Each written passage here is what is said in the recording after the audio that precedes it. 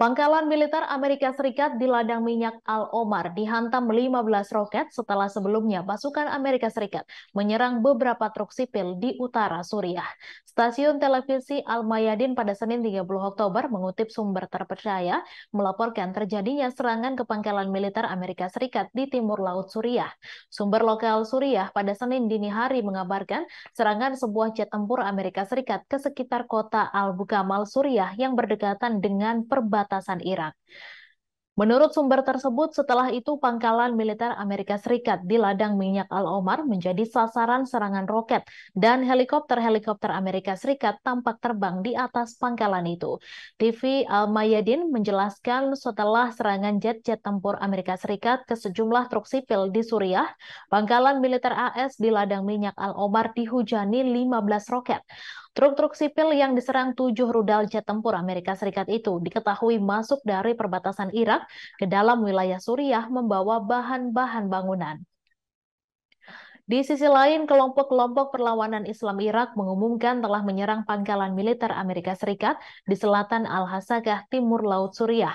Kelompok perlawanan Irak juga mengatakan pangkalan militer Amerika Serikat di Al-Sada di Suriah diserang dua drone dan drone-drone tersebut langsung mengenai target.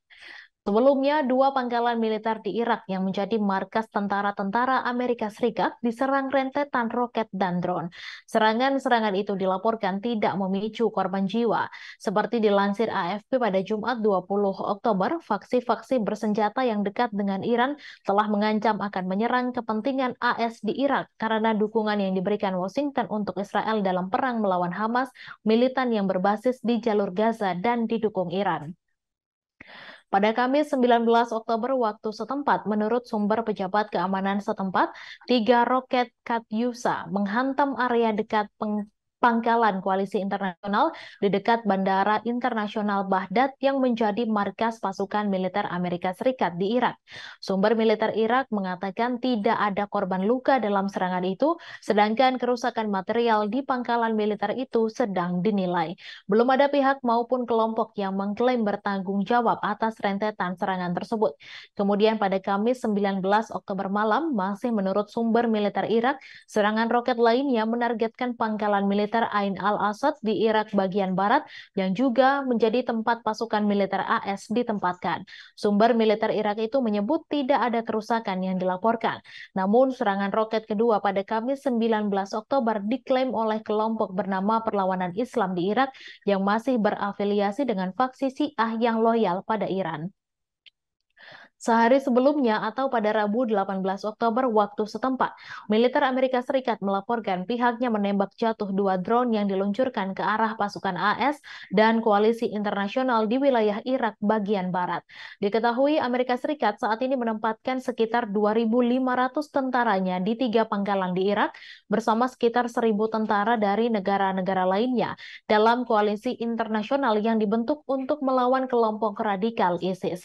Rentetan serangan serangan terhadap pangkalan yang menampung tentara Amerika Serikat itu terjadi setelah faksi-faksi yang loyal pada Iran meningkatkan ancaman terhadap Amerika Serikat.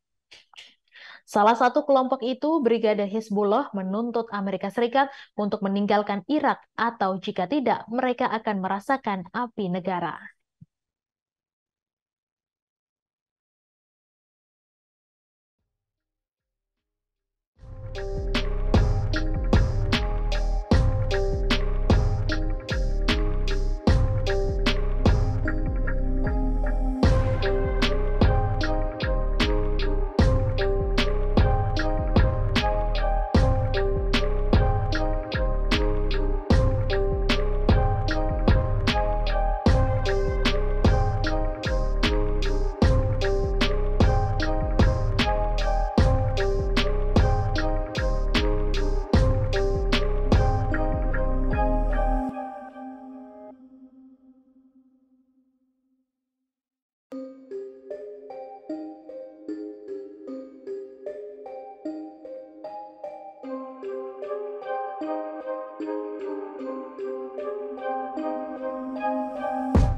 Download Tribun X sekarang.